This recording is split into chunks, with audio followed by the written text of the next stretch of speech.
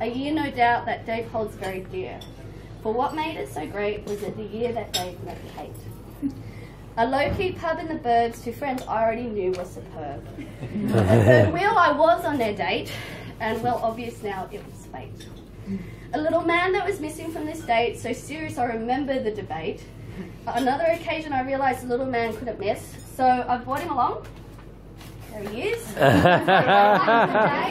for everyone to come and have a kiss. I know he's Oh.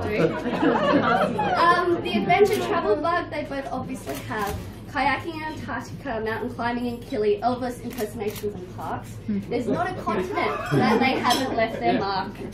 So, as you all know, Kate loves her desserts. So tonight we logically are going to start in reverse. So if you can now raise your drinks for a few cheers and clinks, welcome Dave and Kate to cut the cake.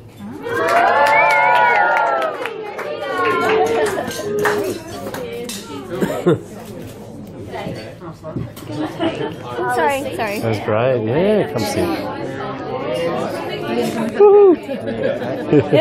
sit. Video. Hi, Maggie. What's that? Taking a video. Ah, oh, that was a great poem. Oh, yeah, yeah. Cake looks amazing, guys. No, uh, like so so. And I've heard that Sorry, I don't say my West house. are very. That one's been shipped in from the US. This one's been shaved out of glaciers from That's really cool, doesn't it? I think I've got like A class seats over here. I know, I know.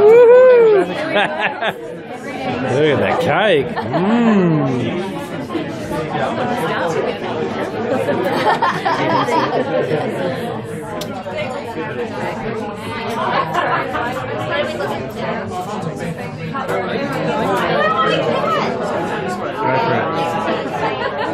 Go, Kate. Oh.